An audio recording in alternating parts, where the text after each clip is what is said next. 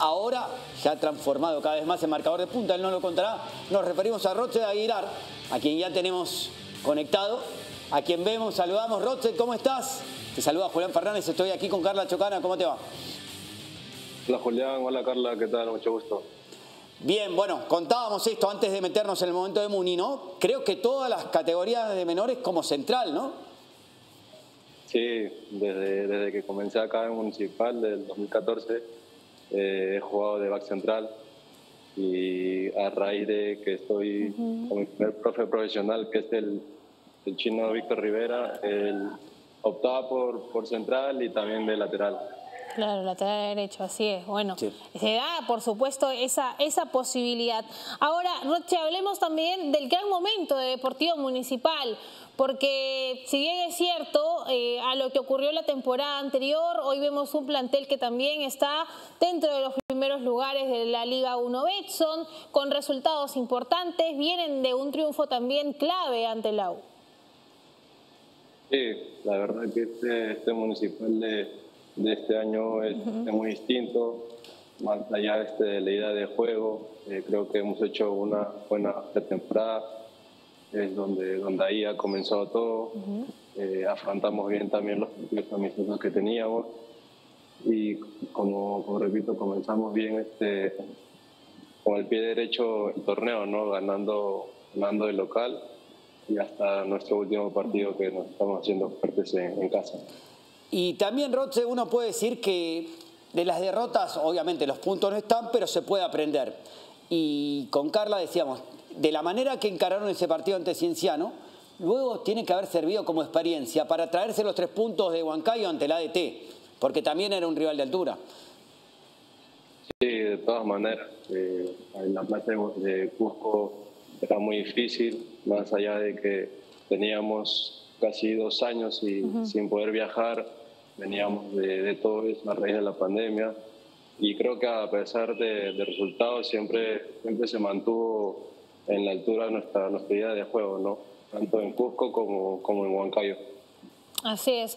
Ahora, e, en este último encuentro contra Universitario de Deportes, eh, incluso más allá de haberse quedado también con, digamos, 10 jugadores dentro de la cancha, eh, sacan un resultado ante un universitario que también venía al menos de haber sacado tres puntos luego de lo que era su participación a nivel internacional eh, y, digamos que este Muni ha ganado mucha fuerza también en la media cancha. Hoy los jugadores por su velocidad, tus compañeros que van por los costados, la verdad, ganan mucho terreno allí.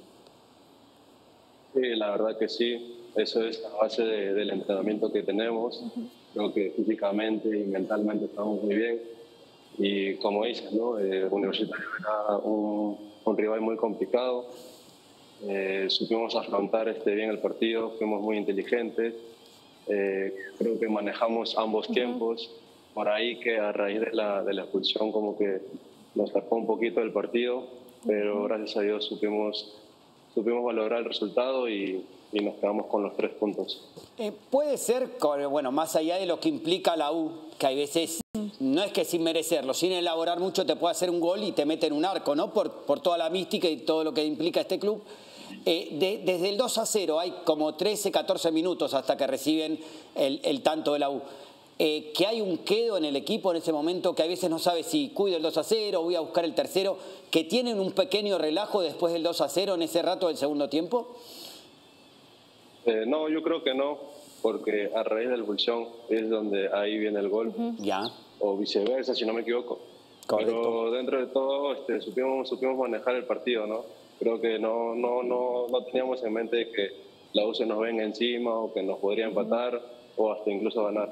Fuimos muy inteligentes para, para valorar el resultado. Ahora, confianza también que les brinda en este caso Diego Melián, ¿no? que es un arquero que viene pasando por una regularidad importante, no solamente por este inicio de temporada, sino desde que llegó a Deportivo Municipal. Y en un partido así, tapar el penal, eso también llena de confianza a todo el equipo, Roche.